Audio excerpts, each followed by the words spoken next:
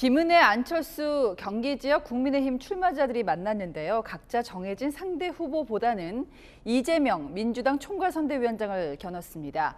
이 위원장도 가만히 있지는 않았는데요. 진짜 도둑은 국민의힘이다 받아쳤습니다. 정한희 기자입니다.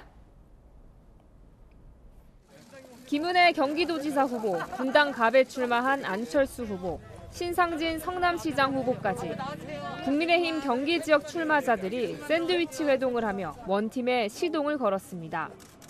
안철수 후보 선거 사무실 개소식에서도 이재명 더불어민주당 상임 고문을 겨냥하며 협동에 나섰습니다.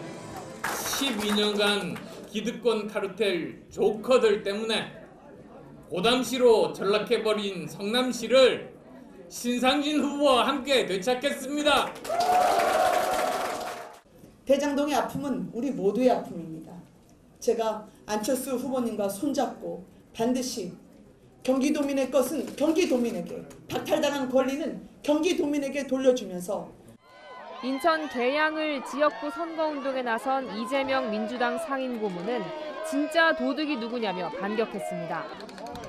국민의힘을 향해 과거 인천을 빚더미로 만든 세력이라며 성과를 낼 일꾼을 뽑아달라고 목소리를 높였습니다.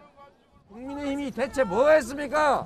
발목이나 잡고 주인 물건이나 훔치고 훔치는 거 막는 모습은 괜히 갔다가 욕해가지고 지가 도둑질했으면서 민주당은 국민의힘 공격이 집중되는 이재명 상임 고문을 엄호했습니다.